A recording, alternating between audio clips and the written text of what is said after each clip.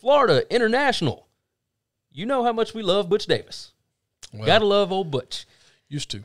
Yeah, yeah. Win total is at four and a half. The over juiced to plus one ten. The under juiced at minus one fifty. Um, SP Plus has them at five and seven. FPI has them at four and eight. Uh, they went zero and five last year, and last year was just a complete mess. Uh, it was due to COVID issues. They had guys out. Yeah, I'm not really frequently. worried about last year. Yeah, last year was whatever. The passing game was awful. They, they, they just haven't been great the- even the passing game being as awful as it was last year, it didn't slow down the running game. They averaged 6.6 yards per carry, and they get four offensive linemen back and both of their running backs. So even though everybody knew that they couldn't pass the ball, they still ran over people. yeah, they're going to play a different schedule this year. Yes, uh, yes, in fact, they are.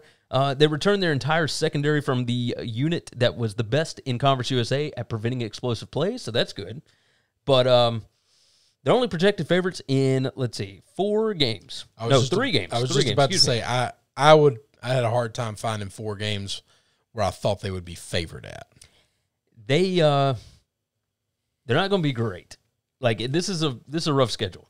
It's However, tough. It's tough. Um, I- do see Charlotte on there. I do see Old Dominion. Uh, I think they can win at Middle Tennessee. I think they could possibly beat North Texas at home. I don't know what Southern Miss is going to be under Will Hall, Texas State, uh, LIU. Like I, I think that there's a shot here for them to uh, dramatically improve, especially with a good running game and a good defense.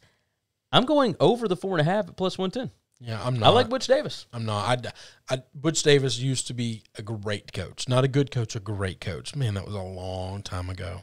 And so you were going to take the under four I'm, and a half. I'm going to take the under at four and a half. and uh, let's see, that juice minus 150. On 150. I don't. You know, I don't like laying a lot of juice. oh, I know you don't, but uh, I, I I struggled to find games that I thought were winnable. that's a, that's totally fair. If you look at it differently than I did, I mean, makes and, look, like I said, we're we're recording this at the end of June. Yeah. Okay, this is this is the thing is we're making a prediction about things that are going to happen in October and November in June. This is true. So This is take true. it for what it's worth. Thanks for listening to the Winning Cures Everything podcast. The website is winningcureseverything.com, and if you want to connect with us, we're on Twitter at Gary WCE, at Chris B. Giannini, at Winning Cures, or you can email us, Gary at winningcureseverything.com or Chris at winningcureseverything.com. Subscribe everywhere you need to subscribe, and we'll see you soon.